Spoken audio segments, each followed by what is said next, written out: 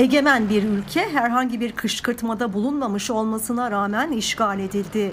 Rusya'nın Ukrayna'ya açtığı savaş küresel güvenlik düzenini alt üst etti. NATO ve Rusya'yı doğrudan çatışmaya biraz daha yaklaştırdı. 24 Şubat'ta Ukrayna'ya özel askeri operasyon düzenlendiğini açıklayan Rusya Cumhurbaşkanı Vladimir Putin, 2. Dünya Savaşı'nın ideolojilerini tekrar günümüze taşıdı. Ukrayna'nın askeri güçten ve Nazilerden temizlenmesi için çabalayacağız.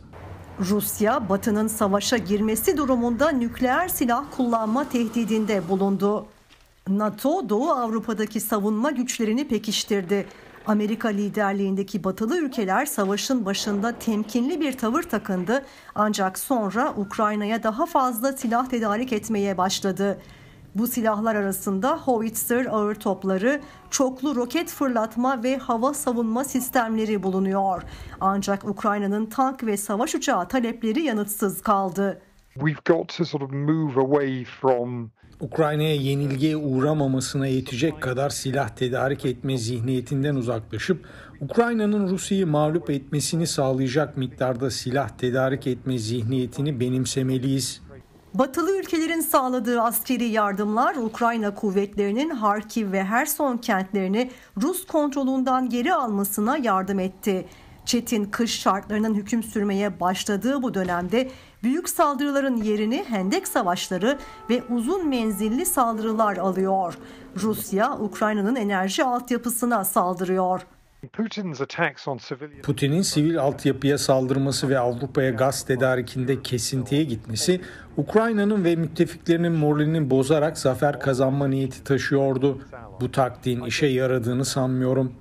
Uzmanlara göre önümüzdeki aylar Batı'nın Ukrayna'ya verdiği taahhütlerin sınandığı dönem olacak. We can either allow a nuclear bully Ya nükleer bir kabadayının istediğini elde etmesine izin veririz ve uzun yıllar boyunca güvensizlik ortamında yaşarız ya da Putin'in Ukrayna'da zafer kazanmamasını sağlar ve çok daha sağlam bir temele oturan daha iyi bir düzen inşa ederiz.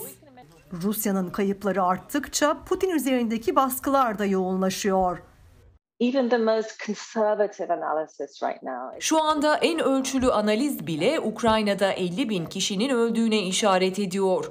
Bu sayı Sovyetler Birliği'nin 10 yıl 8 ayda Afganistan'da verdiği kayıpların 3 ila 5 katına denk geliyor.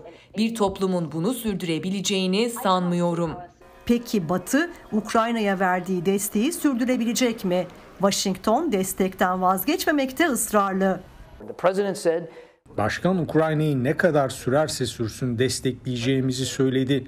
Bu konuda kararlı. Ukrayna'daki çatışma bölgesinin çok ötesinde Çin ve Tayvan gibi ülkeler de olanları yakından izliyor. Savaşın sonucu sadece Rusya ve batılı ülkeler arasındaki ilişkilerin gidişatını belirlemekle kalmayacak, aynı zamanda yeni bir küresel düzen oluşturacak. Devrim Moral, Washington.